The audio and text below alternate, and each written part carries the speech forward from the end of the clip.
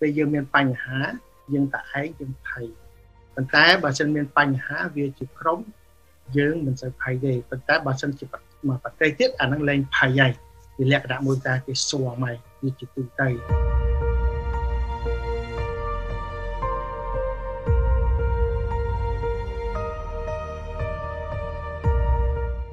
ទស្សនវិជ្ជាលើនេះវាមិនមែនតែប្រទេសទេមានពិភពលោកអញ្ចឹងអ្វីដែលយើងកើតឡើង មិនមែនតែយើងទេមិនមែនតែសង្គមយើងទេមិនមែនតែប្រទេសយើងវាលើពិភពលោកដូច្នេះហើយអ្នកណាក៏កើតដែរអញ្ចឹងណាគាត់ថានៅក្រៅប្រទេសអហានិភ័យវាតិចជាងក្នុងប្រទេសនៅក្រៅប្រទេសបានរស់ស៊ីតូចតាចចំណេញវិញបើសិនជាប្រទេសអភិវឌ្ឍវិញក្រុមហ៊ុនតូចតូចចំណេញវិញមួយក្រុមហ៊ុនចំណេញ400,000 400,000តែគេរដ្ឋាភិបាលជួយទប់កុំឲ្យក្រុមហ៊ុនរលំបបកគោលវិញម្នាក់សិតតែ2 30000 20000អញ្ចឹងទៅដើម្បីទប់ដើម្បីជួយឲ្យឲ្យរស់បានក្នុងដៅនេះអញ្ចឹងគេចំណេញវិញ ដល់ពេលកន្លែងយើងនេះវាអត់ដល់ពេលអត់អញ្ចឹងប្រជាជនទី1គឺកុហកកាហាយប្រជាជនពិបាកប្រជាជនភ័យបន្ទាប់ពីភ័យមកមានការបារម្ភបន្ទាប់ពីបារម្ភមកមានការឯកោអាឯកោទាំងអស់នេះវាមិនមែនសរុបមកធ្វើឲ្យយើងមានអារម្មណ៍ stress ទេអា stress ហ្នឹងវាផុតហើយឥឡូវនេះវាផុតពី stress វាចូលគេហៅថា anxiety depression ហើយនឹងគេហៅថា post traumatic stress syndrome មានន័យថា រោគធ្ងន់ធ្ងរជាង stress ទៅទៀតវាចូលរោគជំងឺទៅហើយ stress គេអត់ហៅជំងឺទេហើយរោគទាំងអស់ហ្នឹងធ្វើឲ្យយើងកេងមិនលក់ធ្វើឲ្យយើងបារម្ភច្រើនហើយបាក់ទឹកចិត្តដែលធ្វើឲ្យរាងកាយយើងប៉ះទង្គិចទៅផ្លូវចិត្តផ្លូវកាយផ្លូវអារម្មណ៍ហើយទាំងអស់ហ្នឹងបូកសរុបមកធ្វើយើងដេកលក់ធ្វើដេកលក់ធ្វើយើងឈឺខ្លួនឈឺប្រាណដេកលក់ធ្វើយើងឈឺកាពះដេកលក់ធ្វើយើងហ្នឹងគឺថាមានបញ្ហាផ្លូវចិត្តផ្សេងផ្សេងទៀតអញ្ចឹងកត្តានេះ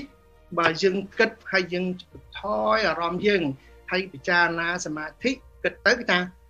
យើងអត់តែឯងទេយើងជាទូទៅក្នុងប្រទេសដូច្នេះហើយយើងសេវីស្រាហៅដៃគូហៅមិត្តភ័ក្តិដូចក្រុមអញ្ចឹងពិភាក្សាគ្នាដើម្បីឲ្យវានាំម្លាយនាំម្លាយឲ្យវាស៊ាំនឹងការ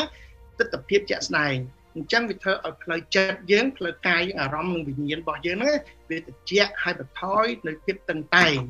ហ្នឹង ចំណុចមួយក្នុងការបន្ថយអារម្មណ៍ហើយបន្ថយទឹកចិត្តបន្ថយពីការពិបាកហើយយើងកំពុងបានធ្វើនេះវគ្គទី2ដែលខ្ញុំធ្វើវគ្គទី1ជាមួយ CIC បាទ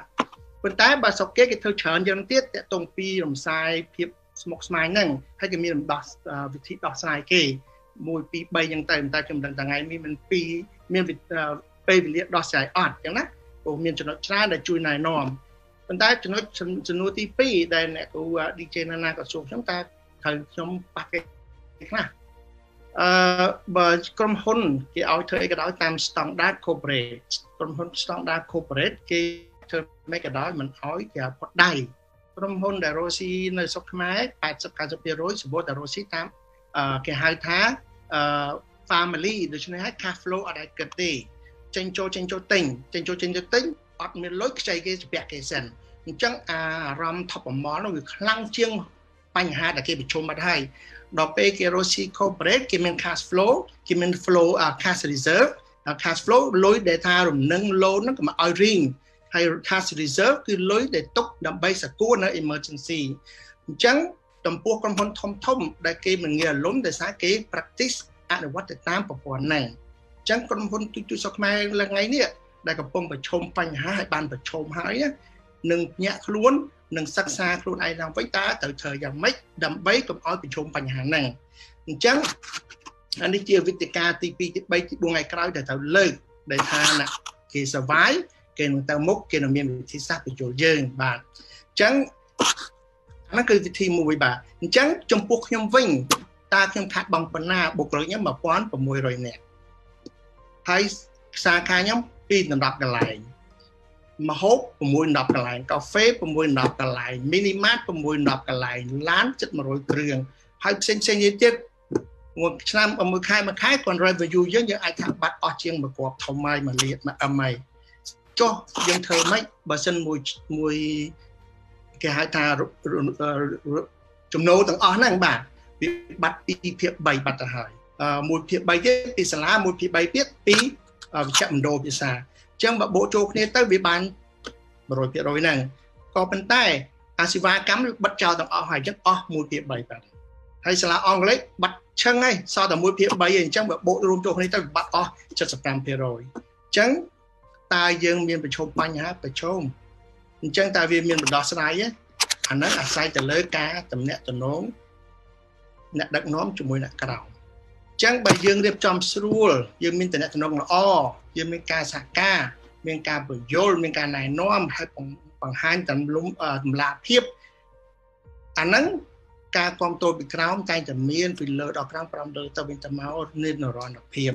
លក្ខណៈមួយគ្រួសារប្រឈមបញ្ហាជួយគ្នា មានបានជួយចែកគ្នាអញ្ចឹងគេឲ្យធ្វើប្រព័ន្ធគេហៅថា corporate company ហ្នឹងវាមាន system គេអញ្ចឹងអញ្ចឹងបានគេតែតែមានលុយ reserve មួយទៀតដើម្បីឲ្យមានការជួយក្រុមគ្រួសារពេលមានអាសន្នជួយមិត្តភ័ក្តិពេលគ្រោះថ្នាក់ចរាចរណ៍ពេលបញ្ហាកូនឈឺម៉ែឪចូល emergency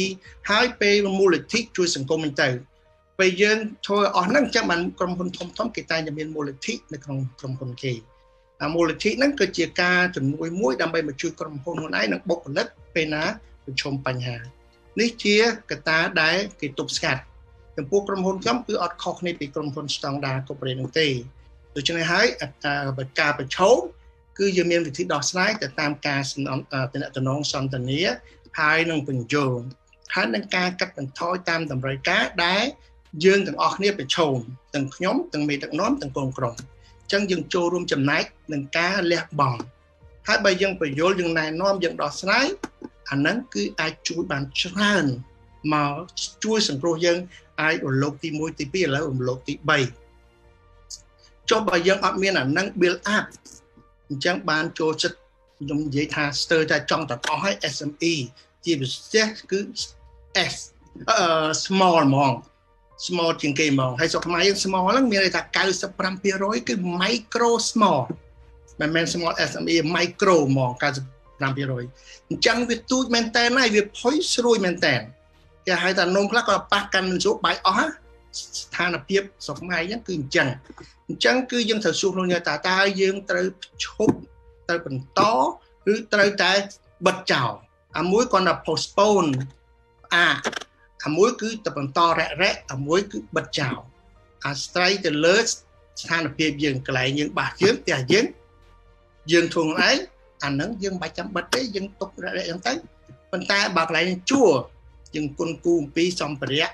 ឧបករណ៍បុគ្គលិកហើយយើងថ្លែងថ្លែងអត់រួចទេតើយើងទុកបានប្រមាណខែយើងអាចដឹងអំពីសេដ្ឋកិច្ចអាចយើងអាចត្រៀមប្រមាណខែចំពោះហិរញ្ញវត្ថុយើងអញ្ចឹងការសម្រេចចិត្តវានឹងតម្លាភាពហើយនឹងត្រូវច្រើនជាងអត់ត្រូវដូច្នេះហើយបើសិនជាគាត់ថាអូខេខ្ញុំអាចស្ទង់ថាបើលើសពី3ខែគឺខ្ញុំអត់ទៅរួចទេខ្ញុំគួរតែបិទឥឡូវទៅកុំឲ្យខាតលុយ3ខែហ្នឹង ប៉ុន្តែខ្ញុំគិតថាវាមិនមែន3ខែវា4 5ខែអញ្ចឹងខ្ញុំគួរបិទឥឡូវទៅអញ្ចឹងណាបាទឬគឺថាមើលទៅស្ថានភាពគឺបដោះសន្ននេះអញ្ចឹងយើងផ្អាកអាស្រ័យទៅលើការថ្លឹងថ្លែងរបស់យើងហើយការឲ្យយោបល់ពីក្រុមដឹកនាំរបស់យើងហើយក្រុមដឹកនាំរបស់យើងហើយគេជាផ្នែកចំមោះរបស់យើងជាឆ្នាំបាយយើងដែលគេផ្ដល់មតិយោបល់ឲ្យយើងហើយយើងជាមេយើងមិនអាចដឹងទាំងអស់ទេហើយយើងក៏មិនទទួលសម្ពាធទាំងអស់ដែរ បើយើងទទួលសម្ពាធទាំងអស់អានឹងយើងទទួលត្រូមេឃហើយអញ្ចឹងណាបាទនាមជាមេគឺគ្រាន់ជាអ្នកចាស់ទុំតម្រង់ទិសផ្ដល់យោបល់ប៉ុន្តែមិនមែនអ្នកធ្វើទេយើងជាអ្នកគេហៅថាក្រោតទៅលើអាវ៉ារបស់គេផ្ដល់ភាពកក់ក្ដៅដូច្នេះហើយចំពោះក្រុមហ៊ុនខ្ញុំគឺខ្ញុំប៉ះតិចមិនខុសពីក្រុមហ៊ុនផ្សេងផ្សេងទេប៉ុន្តែដោយសារជា corporate company យើងមាន structure ដើម្បីត្រៀមទុកមិនឲ្យមានការផុតដៃ ហើយក្រុមហ៊ុនសុខខ្មែរបញ្ហាធ្ងន់គឺផុតដៃផុតដៃមិនមែនយើងរស់ស៊ីខាតទេផុតដៃមានថាយើងរស់ស៊ីចំណេញប៉ុន្តែលុយត្រូវចាយនៅក្នុងខែ1ថ្ងៃទី1ប៉ុន្តែដល់ខែ1ថ្ងៃទី10បានមកខុសទៅ10ថ្ងៃហ្នឹងក្រុមហ៊ុនអាលុំដួលដូចថាជើងតម្រៃជើង4ផ្កាអញ្ចឹងមានថាសងចំណេញប៉ុណ្ណាក៏ដោយបើផុតបបម៉ាយឲ្យគេអ្នក supply គេឈប់ឲ្យគេល្បីឈ្មោះនិយាយពេញហ្នឹង មួយក៏ឈប់មកទិញគេចាប់បានផ្លាច់ចាប់ចាត់ដកដកដកក្រុមហ៊ុនមួយ plan ស្តុកចុះភ្លាមទៅចុះភ្លាមគឺអាលុំភ្លាមអញ្ចឹងបានមានមហាស្ត្រីខ្លះក្នុងក្នុងសុក20 billion ក្នុងមួយខែអាលុំអស់ក៏មានដែរដោយសារទំនុកទុកចិត្តនឹងឯងបញ្ហានេះជាក់ស្ដែងហើយវានឹងបញ្ហាដល់សង្គមគឺប្រមូលបញ្ហាដល់ក្នុងបុគ្គលខ្លួនឯងដែលមានបញ្ហាផ្លូវចិត្តទៅកែទៅអារម្មណ៍ធ្ងន់ធ្ងរហើយបន្ទាប់មកនឹងប៉ះទៅទៅបញ្ហាគ្រួសារ គឺនឹងឃើញមានការឆ្លោះគ្នាលែងលះគ្នាវាយតប់គ្នាច្រើនបញ្ហាក្នុងសង្គមគឺនឹងឃើញយុវជនបោឡែនៅអត់ការងារធ្វើច្រើនមានការប្លន់មានការអឺពើហិង្សាផ្សេងផ្សេងតាក់ស៊ីជួបបោឡែយើងនឹងឃើញបញ្ហាសង្គមទាំងមូលនិងជួសបល់អ្នកផ្លូវចិត្តក៏មានបញ្ហាអ្នករោគផ្លូវកាយក៏មានបញ្ហាសង្គមយើងនឹងមានគេហៅថាប្រឈមនឹង ត្រូវការអ្នកប្រឹក្សាត្រូវការអ្នកព្យាបាលត្រូវការអ្នកយល់ចិត្តត្រូវការអ្នកមេត្តាធម៌ពីថ្នាក់លើពីអ្នកមានហើយត្រូវការច្រើននិយាយរួមទៅគឺថាយើងជាសង្គមមួយដែលកំពុងតែខុយស្រួយបន្ទាប់ពីនេះទៅហើយបើយើងមិនគ្រប់គ្រងឲ្យបានល្អមិនប្រើពាក្យសម្ដីឲ្យបានសមគួរវាជាចំណុចរសើបមួយនៃប្រទេសដែលនឹងអាចបង្កឲ្យមានបញ្ហាផ្សេងផ្សេង នេះយើងមិនមែនទុះទាយនៅចំណុចដែលនឹងធ្វើឲ្យមានចំណុចរសើបក្នុងសង្គមនេះប៉ុន្តែវាជាការមួយនៃយើងគេថាកែទៅដល់ដល់ចំណុចទៅមួយរួចគឺបែរខំហើយមនុស្សយើងតែឃ្លានគឺដូចជាបុគ្គលណាធ្លាប់និយាយតែឃ្លានខ្លៅខ្លៅអញ្ចឹងណាបាទមានតែតែឃ្លានហើយគឺបញ្ហាហើយមនុស្សយើងគឺឆ្លងពលពលតែឃ្លានយកទៅវាយសម្រាប់ចោលភ្លាននឹងឯង ដោយសារយើងគ្មានអីធានធ្វើគ្រប់មុខណាបាទអញ្ចឹងសង្គមនឹងថ្ងៃកំពុងតែខ្វះខាតបាត់ទៅហើយនិយាយជាក់ស្ដែងហើយគាត់នៅបុគ្គលិកខ្ញុំប្រហែលពាន់ហ្នឹងក៏ចូលប្រហែល100នាក់ទៅហើយអឺអត់មកហូមអស់ស្បៀងគ្មាននរណាទៅអ្នកតំណងមកហើយប្រព័ន្ធបាត់ចំហឲ្យតាក់ទងទៅអត់មានអ្នកឆ្លើយអញ្ចឹងមានតែស្រែកមក អាណាព្យាបាលថ្នាក់លើនេះឯងអញ្ចឹងយើងចង់ជួយជាថវិកាជួយអត់បានយើងជួយចង់ជួយជាស្បៀងជួយអត់បានចូលមិនបានផ្ញើមិនបានចេញមិនបានឲ្យមិនបានវាធ្វើឲ្យចំណុចមួយដែលថាដល់ threshold រញោចនៅយើងមានរញោចញញោចគឺតែរៀងគេហៅថារញោចយើងស្វិតជាងគេមិនងាយដាច់ទេនាំតែដាច់ធ្វើឲ្យមនុស្សហក់ពីស្ពានធ្វើឲ្យមនុស្សធ្វើអីមួយផ្លែកឈួតអីណាអានឹងរញោចហ្នឹងគឺតោះតែយើងហ្នឹង ភពគេចាក់គេអាគេដុតគេខ្លាំងណាតោះគេធំបានអានឹងគេសុខចិត្តធ្វើអីក៏ធ្វើដែរឥឡូវវាដល់រញោចមួយដែលថាវាមិនទាន់ដាច់ទេប៉ុន្តែវាក្តៅដូច្នេះហើយបើសិនជាយើងអឺអាចយល់អំពីផ្លូវចិត្តហើយយើងអាចវិហោវិធីដោះស្រាយហើយយើងមានវិធីចែកអំណោយច្រើនជួយសហគមន៍ច្រើន ចូលរួមចំណែកច្រើនបន្ទាប់ពីនេះធ្វើឲ្យប្រជាជនមានគេហៅថាដោះស្រាយបដោះអាសន្ន អានឹងវាអាចជួយការលើកទឹកចិត្តប៉ុន្តែវាមិនមែនជាអចិន្ត្រៃយ៍ទេយើងត្រូវតែរកវិធីសាស្ត្រផ្ដល់ការងារឲ្យធ្វើ មានការងារឲ្យធ្វើផ្ដល់ការងារធ្វើហើយប្រាក់ខែកុំឲ្យក្រមអតិផលណាពីព្រោះក្នុងការខ្វះខាតនេះវាត្រូវការសរុបធំប៉ុន្តែបើចាប់តាមការងារក្រមអតិផលណាទៀតអានឹងវាជន់លើជន់ចំណុចនេះចំពោះប្រជាពលរដ្ឋទូទៅដែលយើងឃើញថាការកង្វល់ហ្នឹងណា វាតិចជាងអ្នកថៅកែអ្នករុស្ស៊ីបើយើងគេស្ថិតិសិក្សាអន្តរជាតិគេឃើញថា70%ជាងចំពោះអ្នក entrepreneur 40ជាងប្រជាជនទូទៅដែលខ្វល់ហើយព្រួយបារម្ភទី1ចំពោះអ្នកដឹកនាំយើងមានបញ្ហាអលងអលោចឯកោពីថ្នាក់លើពេលយើងកំពុងដំណើរការទៅមុខយើងមានបញ្ហាឯកោដល់តែឯងពេលបញ្ហាកំពុងតែធ្លាក់ យើងធ្លាក់បាត់ម្នាក់ឯងអញ្ចឹងអាបញ្ហាលងលោចនេះវាធ្វើឲ្យយើងវាផ្ងាជើងទៅហើយប៉ុន្តែគេថាអ្នកដឹកនាំទូទៅក្នុងក្រុមហ៊ុនក្តីក្នុងគ្រួសារក្តីក្នុងប្រទេសជាតិក្តីតែងតែមានគេ agility ហើយនឹង resilient by bot flexibility ណាហើយនឹង resilient តស៊ូអត់ធ្មត់ណាទាំងអស់ហ្នឹងដែលធ្វើឲ្យយើងឈ្នះនៅអ្វីអ្វីទាំងឡាយ ហើយការឈ្នះហ្នឹងគឺទី1ទទួលស្គាល់ការពិតទី2ទទួលហើយនឹង accept ណាបាទនៅកង្វះខាតដែលទាំងអស់គ្នាទទួលបានមិនមែនតែយើងបើយើងទទួលនៅចំណុចពីរហ្នឹងបានភាពពិបាកភាពដៅក្រហាយភាពបញ្ហាផ្សេងផ្សេងយើងនឹងកាត់បន្ថយពេលណាយើងកាត់បន្ថយបូកផ្សំនឹងពាក្យផ្សំពី អឺគេហៅថាអ្នកមាន conscientiousness ណាគេហៅថាទស្ស conscientiousness ខ្មែរទៅមិនដែលមានអឺសិទ្ធិធម៌អញ្ចឹងហ៎មេត្តាធម៌អឺលើកលែងអនុគ្រោះយកយល់មានពាក្យគេ conscientious ពីលើមកនឹងគ្របតម្រាប់អារម្មណ៍យើងទាំងអស់គ្នាបើក្នុងប្រទេសតែប្រជាជនណាឲ្យមានភាពស្ងប់ឲ្យមានភាពត្រជាក់ហើយ នឹងរៀបចំឲ្យមានរៀបរយឡើងវិញអាហ្នឹងគឺជាចំណុចវិធីដោះស្រាយក្នុងសង្គមចំពោះអ្នករ៉ូស៊ីចំពោះអ្នករ៉ូស៊ីនិងប្រជាពលរដ្ឋទូទៅអ្នករ៉ូស៊ីក៏អស់លុយប្រជាពលរដ្ឋក៏អស់លុយអស់លុយរ៉ូស៊ីអស់លុយក្នុងគ្រួសារដើម្បីតម្រង់ទុកចំណុចទាំងអស់នេះ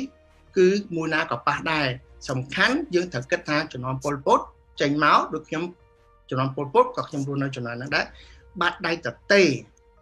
ណាពេលណាណានាខំអ្នកនឹងនឹងរស់បានលឿនពេលណាណានាខ្ជិលអ្នកនឹងនឹងងាប់បានលឿនដូច្នេះហើយមានតែវិធីទទួលពិតប្រកបជាក់ស្ដែងហើយនឹងខំទាំងអស់គ្នា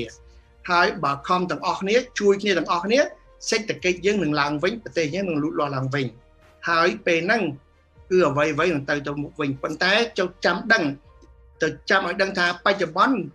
បញ្ហាផ្លូវចិត្តហើយនឹងពុយបារម្ភ សេដ្ឋកិច្ចគឺមួយទេលុយកាក់គឺមួយបញ្ហាឥឡូវនេះវាមានជំងឺលើជំងឺភ័យភ័យបារម្ភទៅលើខ្ញុំមានជំងឺហ្នឹងខ្ញុំមានជំងឺហ្នឹងចូលរាប់ពាន់នេះហើយ message មកខ្ញុំលោកគ្រូខ្ញុំមានជំងឺហ្នឹងត្រូវធ្វើម៉េចម៉ៃគេហៅមានជំងឺម៉ៃជំងឺហ្នឹងបែរគេមានតែជំងឺម៉ៃជំងឺហ្នឹងគឺថាខ្ញុំប្របាក់ដកដង្ហើមលោកគ្រូខ្ញុំមានតឹងទ្រូងលោកគ្រូខ្ញុំក្អកលោកគ្រូហើយខ្ញុំឈឺពងកលោកគ្រូខ្ញុំមានរោគហ្នឹងត្រូវធ្វើម៉េច ដូច្នេះហើយបើយើងនិយាយឲ្យមែនតែនគាត់អាចមានរោគហ្នឹងមែនពីព្រោះតាំងពីរលកទី1ចាប់ផ្ដើមចេញមកគឺមួយមួយមានសញ្ញាហ្នឹងទី1ឈឺខ្លួនឈឺប្រាណខ្សោះអស់កឡើងក្អកក្អកស្ងួតក្អកមានស្លេះកម្ដៅឡើងហើយក៏មានអារម្មណ៍ឆ្អោឆ្អោហូបក្អួតហើយបន្ទាប់មកគឺថប់ពិបាកដល់ដង្ហើមថប់ពិបាកដង្ហើមអាហ្នឹងគឺសញ្ញាកូវីដហើយវាអាចថាយើងគាត់ជាផ្ដាសាយធម្មតាផ្ដាសាយធំឬក៏អាចជាកូវីដនឹងមែនតែន ប៉ុន្តែអាខ្ញុំនិយាយមិញហ្នឹងគឺ COVID ហើយប៉ុន្តែมันសន្មតថាយើងនឹងឈឺទេពីព្រោះ virus គឺខ្ញុំធ្លាប់និយាយជាគេហៅថានគរទី7ដែលនគរងាប់នគររស់មាន6បាក់តេរីពីរប្រភេទពីនគរហើយនឹង protease ហើយនឹងគេហៅ animalia ហើយនឹងគេហៅថា fungus បាទទាំងអស់ហ្នឹងគឺជាមេរោគរស់ដែលធ្វើឲ្យយើងមានមានបញ្ហាជំងឺប៉ុន្តែនគរងាប់នេះ virus នេះ បាទនគរដែលចរាយជាងគេធ្វើឲ្យយើងមានជំងឺច្រើនជាងគេ តាំងពីកញ្ជិលអុចស្វាយមហារីស្បាស្បូនរើមអឺប្រាសាយធំហើយ HIV សារទី1ឥឡូវសារទី2សិតតែរោគនឹងទាំងអស់អញ្ចឹងវាមិនធ្ងន់កោដូចយើងភ័យគួរតែភ័យចឹងទេតែយើងភ័យហ្នឹងប្រព័ន្ធការពារចុះតែប្រព័ន្ធការពារចុះ អាយើងមានម៉ៃជំងឺម៉ៃតែមានហ្នឹងគឺនឹងមានម៉ែដែរពីព្រោះយើងត្រូវការប្រព័ន្ធការពារខ្លាំងដើម្បីវាយទប់ប៉ុន្តែជំងឺហ្នឹងថ្ងៃក្រោយទៅវានឹងស៊ាំឯងដូចជំងឺផ្ដាសាយហ្នឹងអត់ជាទេដូចជំងឺ HIV អត់ជាទេដូចជំងឺផ្សេងផ្សេងរើមហ្នឹងអត់ជាទេទាំងអស់សិតអត់ជាទេថ្លើម ABC ទាំងអស់ក៏អត់ជាដែរវាគ្រាន់តែវាថ្ងៃក្រោយយើងរកវិធីទប់រកវិធីចាក់រកវិធីព្យាបាលតាំងពីព្យាបាលតែឃើញមួយឲ្យឃើញគឺ hepatitis C ដែលពីមុនខ្លាំងជាង AIDS ទៅទៀតអញ្ចឹងបើយើងកំពុងតែអង្គុយភ័យព្រួយខ្លាំងវាធ្វើឲ្យយើងឆោឡោដូច្នេះហើយគឺថាប្រមូលអារម្មណ៍ដំកណិតហើយគេហៅសមាធិ calm down គិតថាខ្ញុំក៏មិនខុសពីគេគេមិនខុសពីខ្ញុំ មានតែវិធីមួយសម្រាប់ស្រួលអារម្មណ៍ប្រាប់កូនចៅថាកុំម៉ៃកុំភ័យហួសហេតុកុំស្លន់ស្លោព្រោះឃើញប្រជាជនខ្មែរយើងច្រើន គឺគាត់ឆាប់ស្លន់ស្លោគាត់ឆាប់ភ័យគាត់ឆាប់ខ្លាចគាត់ឆាប់ជឿគាត់ឆាប់មានអបិយជំនឿឆាប់សួរបោកអាចំណុចទី1ដោយសារទី1កង្វះការយល់ដឹងកង្វះការចេះដឹងហើយកង្វះការទំនុកទឹកចិត្តក្លាហានដោយសារប្រជាពលរដ្ឋយើងគេមាន gene ណាគេហៅ gene ដុសក្នុងចិត្តហើយគឺ gene បាក់ស្បាតដោយសារអាភាពបាក់ស្បាតហ្នឹងវានៅក្នុងយើង generation ហើយ ដូច្នេះហើយយើងនឹងងាយវាយលុបបាក់ស្បាតហើយអញ្ចឹងមានតែវិធីមួយទេគឺថាបន្តបង្រឹងខ្លួនឯងហើយគ្មានអាណាជួយយើងទេ ជួយយើងគឺពេលយើងកើតរោគជំងឺផ្លូវចិត្តអាហ្នឹងមកទៅជួយបានពេលពង stress គឺយើងត្រូវជួយខ្លួនយើងពីព្រោះគេថាជំងឺផ្លូវចិត្តអ្នកមានជំងឺអត់ដឹងខ្លួនឯងទេត្រូវតែបងប្អូនញាតិមិត្តជួយជួយនាំឲ្យដឹងនាំទៅព្យាបាលជួយនាំឲ្យដឹងជួយប្រឹក្សាជួយឲ្យយោបល់ដូច្នេះហើយ ចំណុចដែលខ្ញុំចង់និយាយគឺចំណុចថានឹងមានបញ្ហាប៉ុន្តែបញ្ហាអាស្រ័យទៅលើអ្នកដឹកនាំអាស្រ័យទៅលើអ្នករៀមច្បងក្នុងក្រុមហ៊ុនក្តីក្នុងសហគមន៍ក្តីមេគ្រួសារក្តីតើពាក្យគេហៅវាចាចេញពីមាត់របស់យើងនេះវាផ្ដល់តិចតិជុំដៅកាហាយឬក៏ឆ្កឹះកង្កាកត់ note ហើយ note ហ្នឹងគឺជាកម្ពីដែលធ្វើឲ្យយើងលូតលាស់ភ្លេចខ្លួនអា note ហ្នឹងណា យើងធ្វើបាន1000យើងចេះ1000យើងធ្វើបាន1លានយើងចេះ1លានហើយបើយើងមិនដែលកត់ note យើងអត់ធ្វើអីទេតែបើអត់ធ្វើអីត10ឆ្នាំក្រោយយើងចេះអី0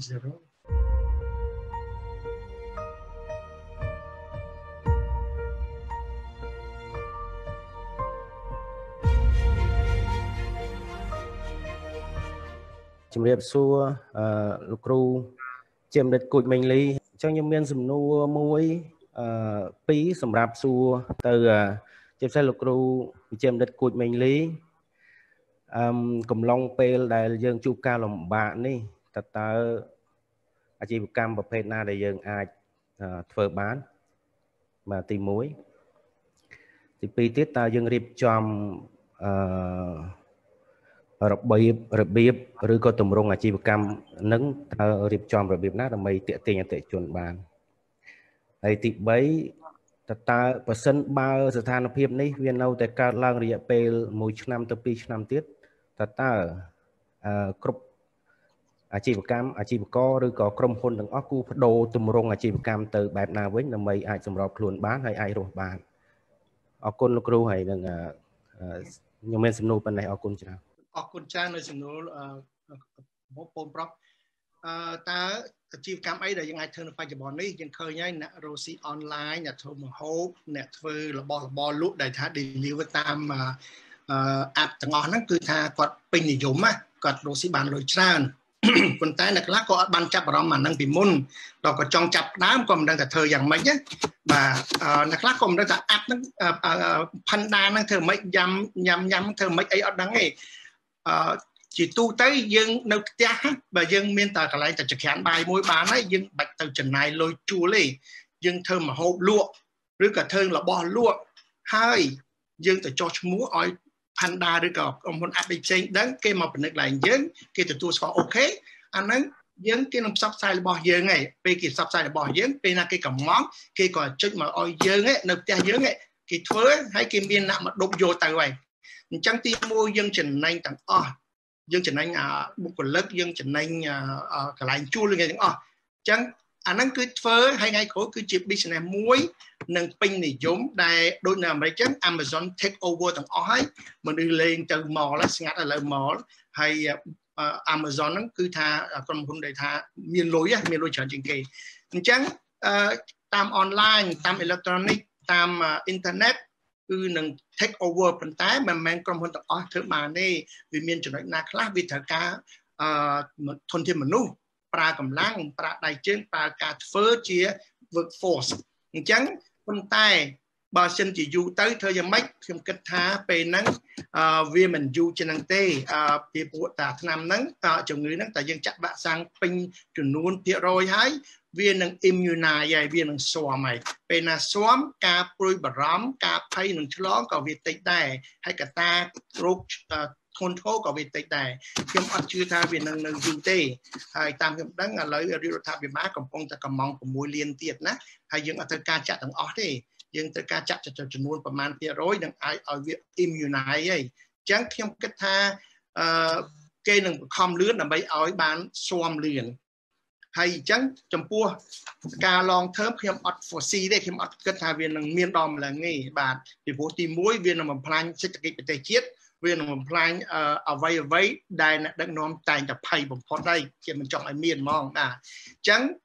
มันអាចមានយូរយូរប៉ុណ្ណឹងទី2បាទអត់បន្ទាប់មកទៀតគឺការ business ដែលអាចធ្វើបានគឺតាក់ទាញនឹងពី online នឹងអាច internet នឹងអាចតែយើងត្រូវធ្វើម៉េចឲ្យតាក់ទាញគេសំខាន់ណាស់អឺបើយើងនិយាយពី online គឺ be honest បើយើងបង្ហាញកយើងត្រូវលក់កបើយើងប្រាប់ B យើងត្រូវបង្ហាញចេញ B ហើយរបស់ឲ្យវាមានគុណភាពខ្ញុំតែងតែនិយាយទាំងអស់មាន7ចំណុចខ្ញុំចង់អានឲ្យស្ដាប់ហើយ បងប្អូនទាំងអស់គ្នាលោកគ្រូអ្នកគ្រូអាចយកទៅសិក្សាហើយបើសិនជាអនុវត្តបាន គឺកម្របរាជ័យណាអឺគេមាន7ចំណុចអឺខ្ញុំសូមអានទីសិន7 point ទី1ការរុស៊ីទាំងអស់មិនថារុស៊ីប្រភេទណា តែងតែលើអ្វីមួយ ទៅលើសេវាកម្មអីមួយអញ្ចឹងគឺថាលើអស់សំទោសលើ product អីមួយបើយើងគិតថាអ្វីក៏ដោយត្រូវការគុណភាពទៅលើអាហ្នឹងអញ្ចឹងទី1គឺ product យើងត្រូវឲ្យមានគុណភាពទៅលើ product ហ្នឹងអញ្ចឹងលោកគ្រូអ្នកគ្រូលក់អីក៏ដោយធ្វើម៉េចឲ្យរក្សាគុណភាពទៅលើ product ហ្នឹងទី2ការរកស៊ីទៅការសេវាកម្មលោកគ្រូអ្នកគ្រូត្រូវការរក្សាគុណភាពទៅលើសេវាកម្មហ្នឹងមានន័យថាម៉េចគុណភាពសេវាកម្មមានសេវាកម្មល្អទៅដល់អតិថិជន no ខុសហើយនេះជាចំណុចនៅស្រុកខ្មែរយើងគិតសេវាកម្មទៅលើបុគ្គលិកខ្លួនឯងដោយកូនដូចចៅភាពកក់ក្ដៅញ៉ាំឆ្ងាញ់សុខភាពល្អរូបរាយ គេនឹងធ្វើដូចជាកូនរបស់យើងទៅលើក្រុមហ៊ុនយើងហើយអញ្ចឹងសេវាកម្មគុណភាពអស់លេខទៅលើបុគ្គលិកយើងមុនមិនមែនអតិថិជនទេណាទី2គេហៅគុណភាពទៅលើ principle វិន័យបើសិនក្រុមហ៊ុនយើងមានវិន័យថ្លៃថ្នូរសម្ដាប់ធ្នាប់ល្អដឹងធំដឹងទូចដឹងបងដឹងគ្រូដឹងមេមិនចាក់អុចមិនអីញ៉ៃញ៉ៃមិននិយាយដើមអានឹងគុណភាពល្អទៅលើវិន័យគឺថាល្អហើយ ហើយទី4ហេដ្ឋារចនាសម្ព័ន្ធទីតាំងកន្លែងយើងស្អាតឬក៏សំរុំក៏អត់គួរឲ្យអង្គុយគួរឲ្យមើលគួរឲ្យទៅអត់បើគុណភាពនឹងទៅស្អាតតាំងពីតុបតែងតាំងពីសាងសង់តាំងពីពណ៌តាំងអីទាំងអស់ហ្នឹងអានឹងគុណភាពហ្នឹងគឺថាឈ្នះហើយទី5គុណភាពទៅលើបរិស្ថានអនាម័យជំវិញ sanitation ហើយនឹង environment បរិស្ថាននឹងយើងស្អាតអត់ smoke គ្រប់អត់ក្នុងហាងយើងក្នុងផ្ទះយើងកន្លែងយើងលក់ទាំងអស់ហ្នឹងវាអនាម័យឬ smoke គ្រប់ឬក៏សម្រាប់ធ្នាប់អត់បើយើងគុណភាពទៅលើ environment និង sanitation នឹងបានល្អគឺជោគជ័យទី5ទី6គុណភាពទៅលើសុខមាលភាពហើយនិងសុខភាពរបស់បុគ្គលិកតើបុគ្គលិកយើងសុខភាពល្អអត់មានកម្លាំងធ្វើអត់ហើយ អនាម័យអត់បើសិនជាបុគ្គលិកយើងមហេតុមហេតុអត់កម្លាំងពាក់កៅអៅដើរចូលទៅយើងក្លិនអាវគាត់មហេតុតុបមហេតុតុបអាហ្នឹងគឺគេអត់ចូលហាងទៀតទេដែលសប្តាហ៍80%ក្នុងហាងមួយមួយកន្លែងលក់មួយមួយចូលទៅក្លិនអាវបុគ្គលិកគេអាណិតបុគ្គលិកគេលេងទៅហើយព្រោះថៅកែហ្នឹងគឺជិះជាន់ទៅលើសិទ្ធិរបស់បុគ្គលិកដែលមានមនុស្សដែលមានខួរក្បាលគិតណាគេមិនទៅហាងទៀតទេដោយហាងកាទៀវអញ្ចឹង តែស្អីលេលោឲ្យបុកណាក់បំរើគេអត់ទៅទៀតទេបើមនុស្សមានឆន្ទៈមនសិការក្នុងខ្លួនអាហ្នឹងគេហៅថាទី6ទី7គុណភាពទៅលើ stakeholder ជុំវិញទាំងអស់ទាំងខ្លួនយើងទាំង share board យើងទាំង shareholder យើងទាំងបុគ្គលិកយើងទាំងភ្ញៀវយើងទាំងចិត្តខាងយើងទាំងគេហៅថាអ្នកអាជ្ញាធរយើងហើយទាំងរដ្ឋាភិបាលយើងតើយើងមានតំណែងល្អតំណែងល្អទាំងបងតាក់ កុំឆ្លោះគ្នាចិត្តខាងស្នាមផ្ទះគេគឺស្នាមផ្ទះយើងណាមានទៅមានមកបុគ្គលិកយើងមើលថែទាំនិយាយទៅគឺថាជុំវិញ stakeholder ទាំងអស់គឺគុណភាពហ្នឹងគឺថាឲ្យល្អអញ្ចឹងបើសិនជា7ហ្នឹងល្អទី8គុណភាពលុយមកឯងគុណភាពជោគជ័យក្រុមហ៊ុនមកឯងនិរន្តរភាពក្រុមហ៊ុនមកឯងខ្ញុំសង្ឃឹមតែលោកគ្រូយល់ចំណុចហ្នឹងវាងាប់រស់នៃរបស់ក្រុមហ៊ុនបាទ7គុណភាពនៃ ដំណើរការរបស់ក្រុមហ៊ុនអញ្ចឹងចំពោះខ្ញុំខ្ញុំខ្ញុំឲ្យមតិយោបល់នៅចំណុចហ្នឹងហើយសង្ឃឹមថាលោកគ្រូអ្នកគ្រូយកទៅអនុវត្តកម្រខុសណាបាទចាអរគុណច្រើនលោកអញ្ញាគុជមីលីមានសំណួរពីប្រិមិត្តយើងមួយដែរគាត់ឈ្មោះធីរាជគាត់បានលើកជាសំណួរថាតើដើម្បីព្យាបាលជំងឺបាក់ស្បាតតើត្រូវពង្រឹងយ៉ាងដូចម្ដេចសូមគោរពជូនលោកគ្រូគុជមីលីទៀតអីចា ហើយសូមលោកអញ្ញាជើញមានប្រសាសន៍ចាបាទមិញនេះខ្ញុំនិយាយពីជំងឺ Covid សញ្ញាទៅចាំបើមានសញ្ញាហ្នឹងណាបាទទី1ញ៉ាំឲ្យឆ្អែតបាទទី2ញ៉ាំឲ្យគ្រប់ជីវជាតិ4ម្ហូបខ្ញុំតែនិយាយហើយផឹកទឹកឲ្យបានគ្រប់យ៉ាងហោច8 8កែវគេឲ្យស្ងប់បាទគេឲ្យស្ងប់ហាត់ប្រាណបានល្អណា ហើយបើសិនជាក្អកក្តៅខ្លួនអីយើងញ៉ាំប៉ារ៉ាទៅហើយបើសិនជាមានស្លាស់ទិនធំបាត់អកហើមយើងញ៉ាំគេហៅ Promexin ឬក៏បើធ្ងន់ធ្ងរជាងនឹងទៀតយើងអាចញ៉ាំ Atrovin ឬក៏ Prednisone ដែលថាក្រសួងសុខាភិបាលគេអបកាសទេគេខ្លាចបុគ្គលប្រជាពលរដ្ឋយើងចេះតែទិញថ្នាំពលិបណាប៉ុន្តែវាមានថ្នាំខ្លាំងខ្លាំងតបតទៅនឹងទៀតដែលយើងអាចទៅជួបពេទ្យយើងគេបញ្យល់ចំពោះផ្លូវចិត្តគេមានជំងឺ3ប្រភេទអត់គេមានវិធីសាស្ត្រព្យាបាល3ប្រភេទទី1គេហៅ psycho therapy ណា psycho therapy គឺថា គេហៅថាព្យាបាលផ្លូវចិត្តតាមការសន្ទនាណែនាំប្រឹក្សាអានឹងជាតួនាទីរបស់ PhD Doctor ខាង Psychology Clinical Psychologist ដែលស្រុកគេគេរៀនចប់ PhD ខាង Psychology មកគេ become Clinical Psychologist គេបើក clinic មកដើម្បីផ្ដល់សេវាកម្មប្រឹក្សាឲ្យយើងណែនាំយើងនិយាយមួយយើងឲ្យយើងធូរហើយបើនឹងមិនជាទេ គេចូលកលៈទី3 psycho cognitive behavior therapy គេថាប្រើវិញ្ញាណហើយនឹងអេយ៉ាបតរបស់យើង ដើម្បីកែទម្រង់អេយ៉ាបតរបស់យើងឲ្យវាទៅទស្សនភាពដើមវិញហើយបើមិនជាទេបានអ្នក clinical psychologist ហ្នឹង PhD doctor ហ្នឹងគាត់ refer ទៅ MD psychiatrist doctor ដែលរៀន13ឆ្នាំ ហើយ PhD ដែលរៀន7ឆ្នាំគេនឹង refer ទៅ doctor ដែលរៀន13ឆ្នាំហ្នឹងគេនឹងឲ្យឆ្នាំហើយនឹងប្រឹក្សាបន្ថែមទៀតអញ្ចឹងឆ្នាំវាមានច្រើនប្រភេទហើយទីទូទៅខ្ញុំព្យាបាលអឺច្រើនហើយអឺប៉ុន្តែខ្ញុំព្យាបាលអត់គិតលុយទេហើយជាទូទៅបើចង់ព្យាបាលគឺណាក់ខ្ញុំដឹងមុនប៉ុន្តែឲ្យខ្ញុំប្រាប់ឆ្នាំវាខុស4 8បាទវាមានឆ្នាំច្រើនប្រភេទហើយជំងឺផ្សេងផ្សេងព្យាបាល ជំងឺនីមួយៗដូចគ្នាតែព្យាបាលខុសៗគ្នាព្រោះខ្លួនយើងមានគេហៅថា neurotransmitter មាន chemical ហើយនឹងការទទួលខុសៗគ្នាដូច្នេះបើសិនខ្ញុំឲ្យឆ្នាំទៅអ្នកគ្រូជំងឺកហ្នឹងណាហើយអ្នកគ្រូដឹងអ្នកគ្រូយកឲ្យប្អូនផឹកណាគឺមិនសន្តំបត្តិថាជាទេអាចគ្រោះថ្នាក់ទៀតព្រោះជួនកាលគាត់មានរោគអីផ្សេងទៀតដែលបដកម្មជាមួយឆ្នាំហ្នឹងឬក៏គាត់ប្រើឆ្នាំអីផ្សេងទៀតដែលធ្វើឲ្យឆ្នាំហ្នឹងវាខ្លាំងលើដើមធ្វើឲ្យគាត់បកាច់ដូច្នេះនេះចំណុចមួយ ដែលប្រជាពលរដ្ឋយើងខ្មែរយើងអត់ដែលដឹងហើយប្រជាពលរដ្ឋខ្មែរយើងមួយចំនួនគេហៅថាក្បាលរឹងណាតែចេះអត់ស្ដាប់ទេដូច្នេះហើយវាគ្រោះថ្នាក់ហើយបើគ្រោះថ្នាក់ទាំងទាំងចោជីវិតហើយទាំងស៊ាំខ្លួនដែលឆ្នាំចងៃជាលើលោកគេបានលេងជា ដោយសារស៊ាំនឹងឆ្នាំអឺ antibiotic ឆ្នាំផ្សះដោយសារយើងចេះតែលេងផ្ដេសផ្ដាល់ហើយដល់ពេលអញ្ចឹងមេរោគវាស៊ាំស៊ាំស៊ាំឥឡូវលើលោកនេះគេអស់ឆ្នាំផ្សះនឹងព្យាបាលជំងឺគេកំពុងភ័យ ដោយសារប្រទេសកំពុងអភិវឌ្ឍនៅប្រទេសក្រីក្រហ្នឹងចេះតែផឹកតែប្រទេសប្រប្រាស់មិនគ្រប់បរិមាណគេហ្នឹងអញ្ចឹងណាបាទអញ្ចឹងចម្លើយទៅគាត់ថាតើព្យាបាលរបៀបម៉េចអាហ្នឹងតើតែយើងមកជួបខ្ញុំឬក៏ជួបដុកទ័រប្រចាំគ្រួសារយើងដើម្បីឲ្យគាត់ណែនាំឲ្យឲ្យថ្នាំក៏ប៉ុន្តែសំទោសចំណុចកន្លែងខ្ញុំនិយាយថាជួបដុកទ័រឲ្យថ្នាំឲ្យព្យាបាលណា ខ្ញុំទៅអាន article គេថានៅស្រុកខ្មែរមកប្រទេស9 10មានមានតែ43នាក់ទេដែលជំនាញខាងហ្នឹងវាអនុត្តធម្មវាតិចពេកហើយអ្នកជំងឺមកខ្ញុំភាគច្រើនគឺវិនិច្ឆ័យខុសឲ្យថ្នាំខុសអញ្ចឹងប្រហែលឆ្នាំនេះគ្នាចោលលុយព្យាបាលអញ្ចឹងទៅដូច្នេះខ្ញុំមិនអាចនិយាយថាពេទ្យយើងអាក្រក់អីទេខ្ញុំគាត់ថាមានមេត្តាអាណិតអាសូរដល់អ្នកជំងឺដែលគាត់ព្យាបាលរាប់ឆ្នាំនេះអស់លុយច្រើនហើយមិនជា តែឥឡូវមកដល់ខ្ញុំវានិច្ឆ័យទៅយើងសិក្សាថាជំងឺនោះវាមិនអញ្ចឹងឆ្នាំវាមិនអញ្ចឹងប៉ុន្តែជាទូទៅគឺមកដល់នេះវាជាជំរាបសួរលោកវិជ្ជាបណ្ឌិតអឺគួយមិញលីដែលសំណួររបស់នាងខ្ញុំហ្នឹងគឺអឺ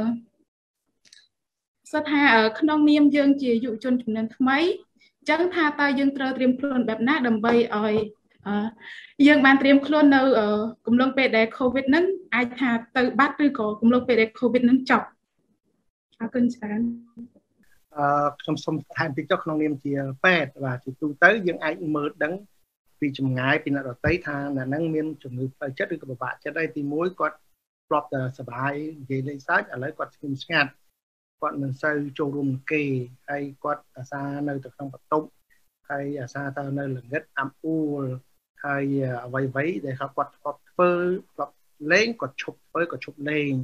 អ្វីគាត់អាសាទៅនិយាយលូកលាន់ចូលរួមគេគាត់ឈប់ដកខ្លួនហើយនិយាយរួមទៅគាត់ឆាប់សគាឆាប់ខ្មុំម៉ៅហើយមានអារម្មណ៍ថាក្នុងខ្លួនឯងឯកោលងលោចមានអារម្មណ៍ថាជីវិតអត់មានន័យហើយញ៉ាំអីក៏មិនឆ្ងាញ់គេងក៏មិនលក់ហើយចិត្តតែសម័យពីនេះពីនោះ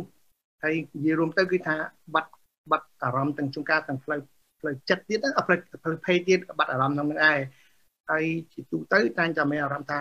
បារម្ភច្រើនអានឹងតែបារម្ភពីអីទេគឺអត់ចេញទេអញ្ចឹងណាហើយមួយទៀតផងដែរបើយើងឃើញទៅថាការញ៉ាំចុករបស់គាត់គឺក៏ប្រែប្រួលដែរជួនការញ៉ាំច្រើនរហូតដល់តែភ្លេចខ្លួនទៅជាជំងឺធាត់ជួនការញ៉ាំញ៉ាំញ៉ាំដល់ភ្លេចខ្លួនទៅជំងឺ bulimia មានតែញ៉ាំហើយលូកឲ្យក្អួតញ៉ាំឲ្យលូកឲ្យក្អួតបាទហើយជួនកាលទៅទៅជាជំងឺផ្សេងផ្សេងទៀតដែលថាឲ្យវាប៉ះតកិច្ចទៅដល់ ផ្លូវកាយផ្លូវជីវិតរបស់គាត់ច្រើនហើយអានទាំងអស់ហ្នឹងគឺបើយើងនិយាយទៅគឺថាបើធ្ងន់ធ្ងរមែនតើរហូតដល់គាត់ឃើញ hallucination ហើយនឹង delusion ណាមើលឃើញរូបនេះរូបនោះខ្លាយខ្លាយហើយសម័យចង់ស្លាប់ខ្លួនអីហ្នឹងគណៈការចុងក្រោយគេហៅចូលដល់ schizophrenia ហើយដែលតែគុណក៏មានសន្និការថាតើ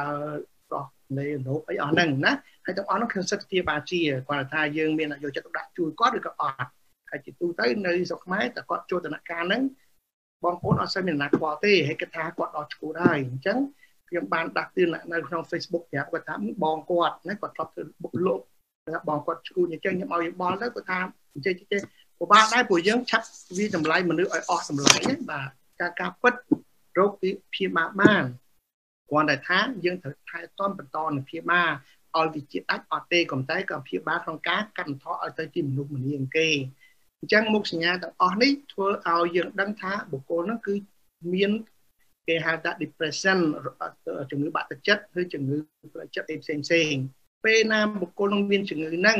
គឺសំខាន់ណាស់បុគ្គលនឹងត្រូវមានមិត្តភ័ក្តិបងប្អូនញាតិមិត្តបងប្អូនម៉ែឪដោយសារភាគច្រើនអ្នកសម្រាប់ខ្លួនគឺដែលគាត់អត់មាន ដូច្នេះគាត់លងជ្រៅឡើងជ្រៅឡើងប៉ុន្តែបើមានយើងអាចនិយាយមួយគាត់ណែគាត់ទាញគាត់មកក្រៅអូគាត់ដើរលេងហើយនាំគាត់ទៅប្រឹក្សាអញ្ចឹងបើគេថាសំខាន់ណាស់ព្រោះអ្នកជំងឺអត់ដឹងខ្លួនឯងតែមានជំងឺទេពីមួយដំបូងទៅ stress stress ទៅ anxiety anxiety ទៅ depression depression ទៅ bipolar bipolar យើងឃើញមនុស្សគុយគុយយ៉ាងសងោទៅតែនិយាយសើចតែឯងទៅអ សបាយទិញអីទិញទិញទៅទិញហើយទៅស្ដាយក្រួយគុយយំទៅចឹងណា bipolar ពីរឆ្វេងចឹងម្ដងយំម្ដងសើចម្ដងពិបាកម្ដងស្រួលរហូតផុតពីនឹងទៅគេហៅថា manic depression ធ្ងន់ធ្ងរហើយណាគិតចាប់ដល់បែកឆ្វេងរហូតដល់ទៅចូលដល់ psycho psychic ហើយនឹង schizophrenia ដែលធ្វើឲ្យយើងគេបជាចង្ការគាត់ថាទូរស័ព្ទក៏បជាយើងបានដែរព្រលឹមឡើងគឺម៉ោងប៉ុណ្ណាយើងត្រូវជិះម៉ូតូទៅកន្លែងណាឬក៏យើងត្រូវជិះណាទៅណាហើយយើងអត់ដឹងធ្វើអីទេ ដល់ម៉ោងយើងដឹងខ្លួនមិនមកនៅកន្លែងនេះអានោះវាធ្វើដល់ដំណាក់កាលហ្នឹងវាច្រើនណាស់ហើយសុខខ្មែរក៏មានច្រើនដែរគ្រប់ជំងឺហើយអានឹងតើតែយើងមានបងប្អូនជួយហើយខ្លះបងប្អូនគាត់ថា level រៀងខ្លួនហើយសប្តាហ៍បបធរយើងស្មាត់ទុកមិនសូវជួយញាតទេអឺយើងគិតថាយើងប្រជាជនដែលថាមានវប្បធម៌អរិយធម៌ហើយស្នើសាលវាអត់ដូចយើងគិតពីមុនទេគឺថាតើមានគ្រួសារហើយសក្តានុពលបាននឹងមែនអញ្ចឹងមិនដឹងនិយាយអភ័ព្វបានអ្នកខ្លះមានកូនដល់7 8មែនតែហៅពឹងបានមែននិយាយចំហ្មងខុសពីសុកគេគេធ្វើអញ្ចឹងបានតែចូលគេមានប្រព័ន្ធរដ្ឋជាចិញ្ចឹម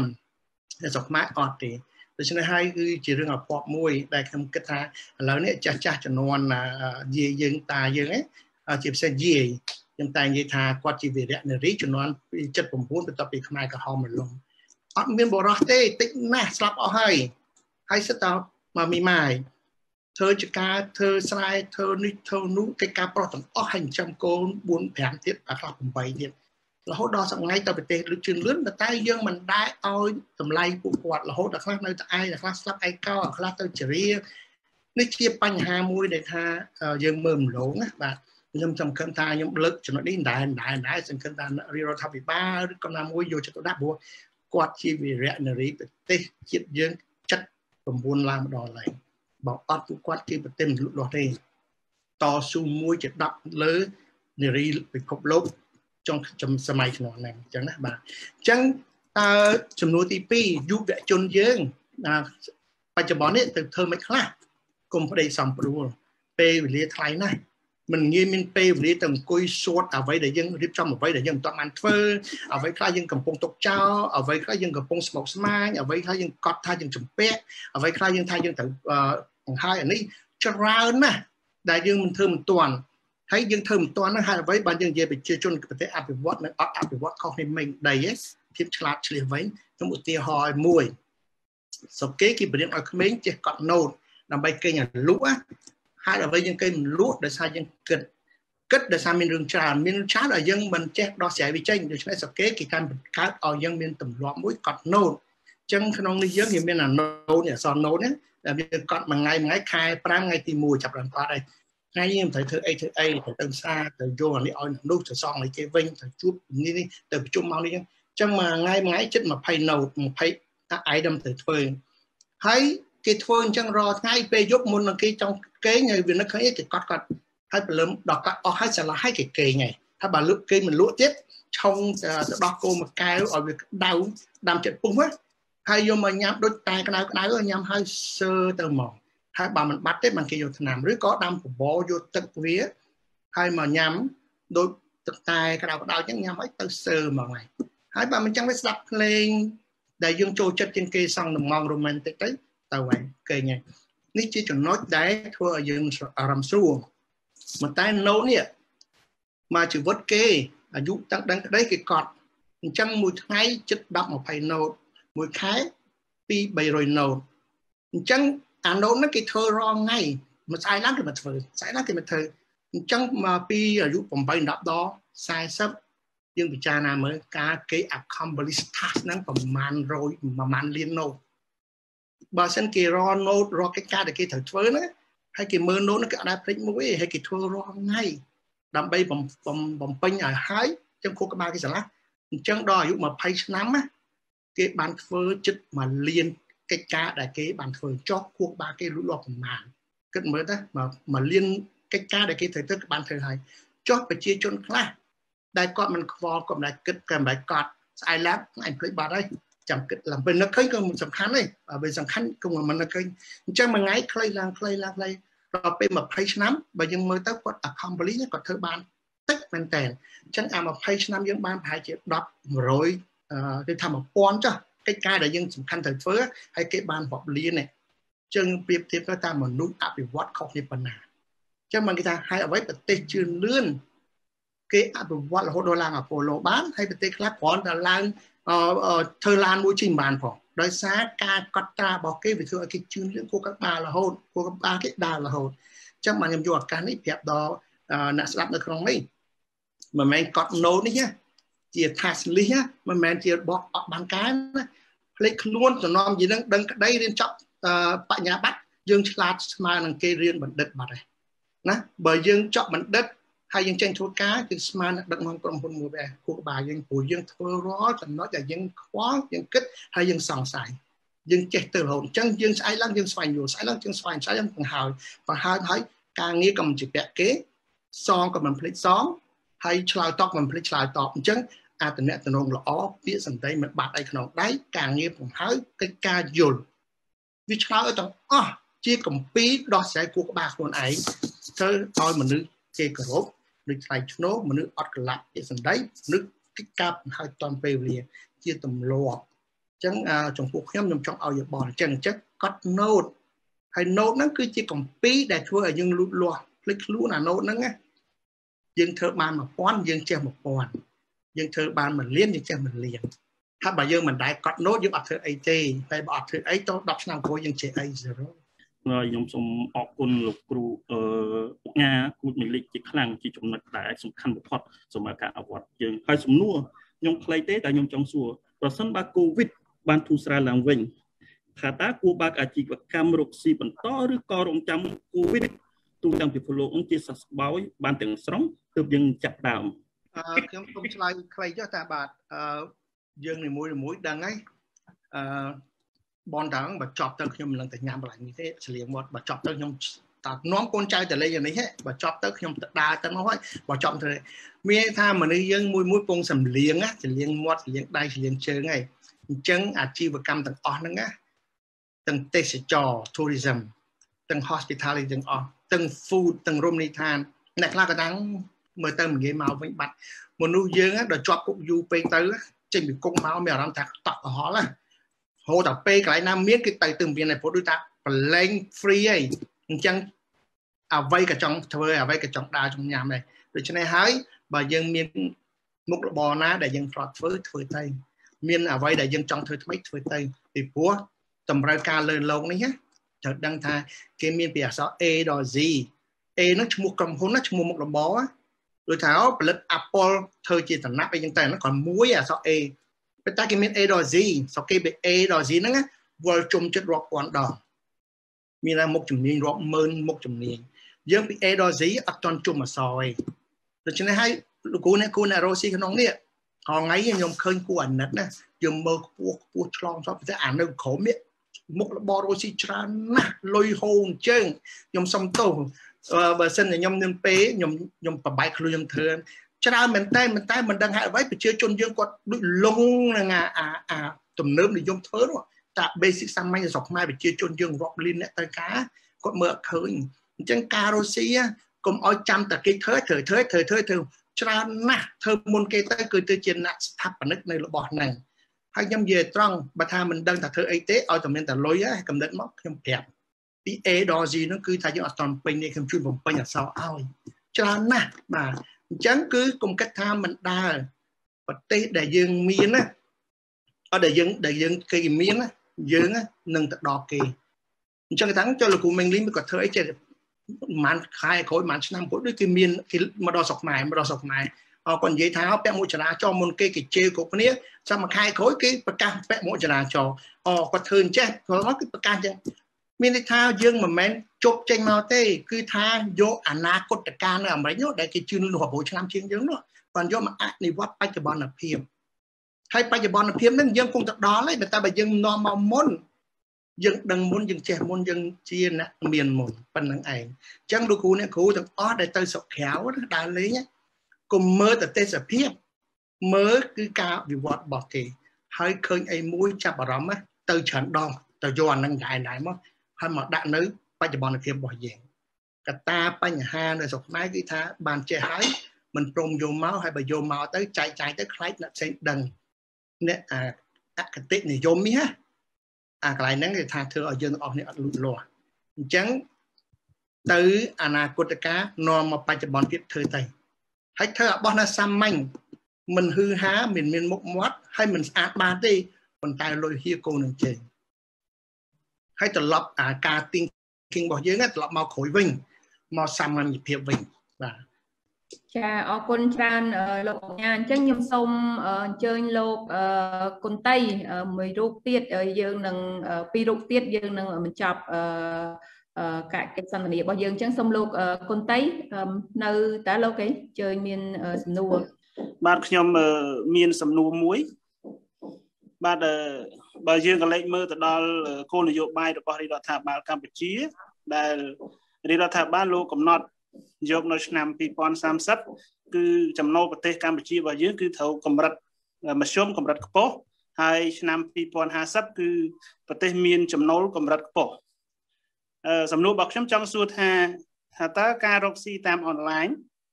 ដោយប្រើប្រាស់បច្ចេកវិទ្យានេះបានជួយអ្វីខ្លះដល់សេដ្ឋកិច្ចប្រទេសកម្ពុជា ដើម្បីឲ្យស្របតាមបរិបទឧស្សាហកម្ម4.0និងស្របតាមគោលនយោបាយរបស់រដ្ឋាភិបាលកម្ពុជាបាទសូមអរគុណច្រើនហើយ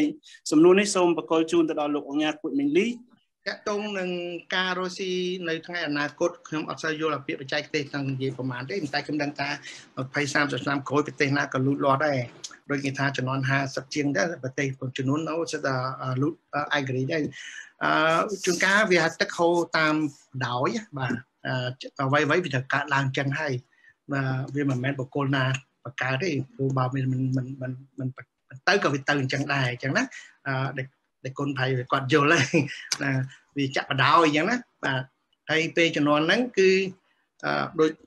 នៅប្រទេសណានោះវាថានៅឆ្នាំប្រហែលនឹងប្រាក់ខែឡើងប៉ុណ្ណេះមិនឡើងទៅទៅឡើងដែរព្រោះអតិផលណាវាឡើងដល់ពេលហ្នឹងអញ្ចឹងយើងនិយាយពីក្បួនសេដ្ឋកិច្ចណាបាទហ្នឹងហើយអញ្ចឹងថាតើប្រហែលឆ្នាំទៅមុខនេះដល់20ឆ្នាំតើវាមានអីខ្លះអឺយើងក៏គិតថាដូចខ្ញុំនិយាយមិញមិនថាអនឡាញមិនថាអហ្វឡាញបើយើងធ្វើអីផ្លាយពីគេមុនគេ គឺយើងជោគជ័យឯងបាទហើយរបស់ធ្វើបើយើងធ្វើរបស់ធនធានដើមនៅស្រុកខ្មែរនេះហើយផលិតឲ្យវាមានគុណភាពស្តង់ដារល្អ ហើយនាំចេញទៅត្រូវតែ1%របស់ចិនណាក៏ធ្វើ nak មានដែរអញ្ចឹងបានហើយអ្វីសុកចិនគេថាគាត់គ្រាន់តែផលិតទឹកមកកំប៉ុងសោះធ្វើ nak មានគូលក់បានតែ1%តែ1លាន100លានអ្នកទេណាក៏គាត់ធ្វើមហាសទ្ធិបាត់ហើយអញ្ចឹងគឺអតិថិជននេះធំយើងក៏អញ្ចឹងដែរបើយើងយករបស់ពីចិនមកដាច់មកហើយរបស់ច្រើនក៏យើងអាចធ្វើនៅមានបានដែរនិយាយរួមទៅធ្វើអីក៏ដោយកុំឲ្យធ្វើរបស់គេបានធ្វើហើយបើសិនជាការ academic វិញ កុំ reinvent the wheel កុំ reinvent the wheel ក៏តែកុំសាវជ្រាវអ្វីគេសាវជ្រាវហើយបើអញ្ចឹងទេណាឯសាវជ្រាវ7ឆ្នាំ PhD ហ្នឹងបោះចោលគេអត់យកទេណាអញ្ចឹងមានអ្នកខ្លះចំណាយពេលហើយរៀនចប់ហើយគេឲ្យបោះចោលទៅធ្វើឡើងវិញពីព្រោះ research នៅរបស់ដែលគេបាន research ហើយដូច្នេះកុំធ្វើរបស់គេទៅហើយវា wasted វាបោះបង់ចោលអត់បានការទេហើយយើងព្យាយាមធ្វើអ្វីថ្មីធ្វើអ្វីថ្មីមិនកើតបាទគេហៅថាបញ្ញវន្តភាពរបស់យើងនៅខ្សោយ ការអប់រំនៅខ្សោយដូច្នេះហើយអត់មានអាចេះខ្លាំងឲ្យរៀនមុខជាមួយឲ្យច្បាស់ពី A ដល់ Z អពីពីទូដល់ធំហ្មងណាអឺគេហៅថាបញ្ញាបត្រមនុស្សបណ្ឌិតបណ្ឌិតបណ្ឌិតជាន់ខ្ពស់បណ្ឌិតជាន់ក្រោយជាន់ខ្ពស់ post doc ទៀតណាបាទ hem fellow ចូលរៀនចាំមកគេចេញមកគេបង្កើតរោងចក្របានជាងចេញមកគេបង្កើតស្អីមួយបានចឹងតែ យើងវាអត់ទាន់មានរៀនចេះដល់អញ្ចឹងអញ្ចឹងអ្វីៗចាប់ផ្ដើមពីកតាតែពីរឯងនៅប្រទេសណាឬប្រទេសណាសុខាភិបាលអប់រំសុខាភិបាលបើមានអប់រំខ្លាំងមនុស្សយើងចេះទាំងអស់បើចេះទាំងអស់ការធ្វើការនិយាយការគិតការចរចាការវិភាគពីទៅមុខហើយតឹងថែទាំសុខភាពខ្លួនឯងផងក៏ចេះដែរហើយបើសិនជាឈឺមានពេទ្យល្អដុកទ័រល្អប្រព័ន្ធល្អមិនអស់លុយមិនក្រពេលគ្រួសារឈឺ បើមានតែពីរហ្នឹងគឺប្រទេសទៅមុខហើយនេះជាប្រវត្តិក្នុងប្រវត្តិសាស្ត្រទូទៅគឺគឺតាទៅការពីក្រសួងហ្នឹងប៉ុន្តែប្រជាជនយើងឥឡូវនេះគឺកំពុងវល់ចុះវល់ឡើងអត់ដឹងទេអញ្ចឹងបើយើងនិយាយថាឲ្យអប់រំសិក្សាមុនសិក្សាមុនដល់ខ្លះគាត់យកអាពាក្យតម្ដីរបស់ខ្ញុំគាត់យកទៅជេរទៅជេរមកគាត់ដឹងថាអាសិក្សាហ្នឹងមិនមែនយើងគិតទៅចង់បដោះទេវាជាកត្តាគ្រឹះបង្គោលនៃការអភិវឌ្ឍជាតិគេត្រូវការហ្នឹងដើម្បីឲ្យមនុស្សទូទៅ កុំឲ្យមានបញ្ញវន្តភាពតំណាក់ពីរហើយធ្វើអ្នកមានទៅជាជាន់ក្រោមទាំងអស់គេឲ្យមានស្មារគ្នាជាស្មារគ្នាបានប្រទេសហ្នឹងគេមិនហ៊ានជាជាន់គេមិនហ៊ានមើលងាយគេមិនហ៊ានប៉ះបញ្ញវន្តភាពហ្នឹងវាក្រាស់នៅថ្លៃធ្នូវាខ្ពស់ការនិយាយស្ដីការចរចាដែលបរទេសមកវាថ្លៃធ្នូយើងមិនអោនទៀបយើងមិនស្ញោស្ញោយើងមិនត្រូយើងមិនអោមតូទេយើងជាមនុស្សស្មើសិទ្ធិគ្នា world citizen ឥឡូវ ប្រជាពលរដ្ឋខ្មែរយើងមួយចំនួនធំមិនទាន់ស្គាល់ថាយើងជា world citizen នេះយើងនៅ second class តណៈកណាដែលយើងនៅគិតខ្លួនឯងជា second class ឋានៈហ្នឹងគឺឋានៈកាលហ្នឹងគឺអ្នកនៅតែមិនលូតលាស់ហើយបើមិនលូតលាស់ច្រើនជំនាន់ខ្លាយទៅជាជាតិនេះក្រិននៅក្នុងហ្នឹងហើយនឹងងាយនឹងងាយដោះចេញណាសុំទោសខ្ញុំនឹងឆ្លើយទៅសំណួរគ្រូអត់ទេប៉ុន្តែអឺចង់ឲ្យយល់ថា ធ្វើអីអ្វីគេមិនតាន់ធ្វើបើអនឡាញអនឡាញកុំឲ្យគេមិនតាន់ធ្វើបើគេលក់លេយើងកុំលក់លេដែរបើគេលក់អាវកុំលក់អាវដែរបើគេធ្វើអីកុំធ្វើដែរធ្វើរបស់ណាដែលយើងមើលទៅពិចារណាបើយើងដឹងថាយើងត្រូវការអីយើងទៅស្រុកគេទៅទៅថៃក៏បានដែរចូលបង្កកគឺថាអីក៏មានដែរណាផ្លែក្រូចមួយស្អុយពាក់កណ្ដាលយើងបោះចោលផ្លែក្រូចគេស្អុយពាក់កណ្ដាលគេបោះឲ្យគេចិត្តចោលអាពាក់កណ្ដាលទៀតហ្នឹង គេចិត្តដាក់កែវដើម្បីយកទៅក្លុកគេចប់វិចក៏លេខ1គេឆ្នៃលេខក៏លេខ1គេការធ្វើអីក៏លេខ1គេមានការសិក្សាតែការសិក្សាពោះមានន័យថាគិតជ្រៅធ្វើល្អប្រយ័ត្នផ្ចិតចង់ដោតទៅលើចិត្តសាស្ត្រទៅលើមនុស្សដូច្នេះហើយវាជោគជ័យទាំងអស់ដូច្នេះហើយបើយើងចង់លូតលាស់កុំរត់ថាតាថ្ងៃក្រោយយើងលូតលាស់សេដ្ឋកិច្ចប្រមាណប្រមាណ គុំសម័យគិតបើប្រទេសអប់រំនៅតែខ្សោយអឺស្តិតិក្តីស្បាប់ក្តីទុះទាយក្តីវានៅតែជា theory ទេណាបើចង់ឲ្យវាលូតលាស់ទៅមើលអាគ្រឹះរបស់យើងវិស័យពីរហ្នឹងវាទៅអត់បាទចាសូមអរគុណលោកអញ្ញាអញ្ចឹងខ្ញុំសូមសំណួរចុងក្រោយរបស់លោកអឺបុតបញ្ញានិតចាបុតផាណានិត បញ្ញានិតចាអញ្ជើញអរគុណមែនទែនសម្រាប់កម្មវិធីថ្ងៃនេះដែលបានចែកអំណែក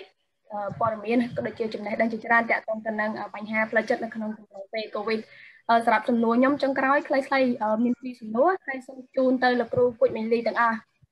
អឺលោកគ្រូសូមបកទៅកន្លែងលោកគ្រូបង្ហាញអំពីអាការៈនៃអ្នកដែលគាត់មានបញ្ហាទៅចិត្តណាលោកគ្រូដែលសំណួរបកបងបងសម្បូរនៅក្នុងហ្នឹងសំណួររបស់ខ្ញុំចង់សួរថាអឺ ពីស្ថានភាពរបស់ខ្ញុំខ្ញុំធ្លាប់កើតស្ថានភាពដែលលោកគ្រូបានបង្ហាញទាំងអស់ហ្នឹងខ្ញុំបានជួបហើយខ្ញុំបានទទួលការព្យាបាលប៉ុន្តែសបកមកមួយឆ្នាំពីរឆ្នាំខាងក្រោយបន្ទាប់ពីព្យាបាលជំងឺនឹងចាប់ផ្ដើមរើឡើងវិញ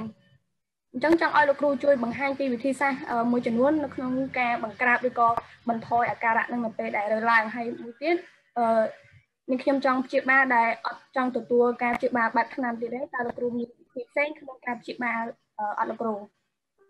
ហើយសំណួរទី2ជូនដល់លោកគ្រូដដែលអឺតកតងទៅនឹងផ្លូវចិត្តរបស់បុគ្គលិកនៅក្នុងស្ថានភាពបិទខ្ទប់ហ្នឹងលោកគ្រូសំណួររបស់ខ្ញុំចង់សួរថានៅក្នុងស្ថានភាពបិទខ្ទប់បែបនេះតើលោកគ្រូមានវិធីសាស្ត្របែបណាក្នុងការជួយជំរុញលើកទឹកចិត្តដល់បុគ្គលិកឲ្យពួកគាត់មានស្មារតីប្រឹងប្រែងឬក៏បង្កើនសមត្ថភាពការងាររបស់ពួកគាត់វិញជាជាងឲ្យគាត់ផ្ដេកផ្ដួលទៅតាមស្ថានភាព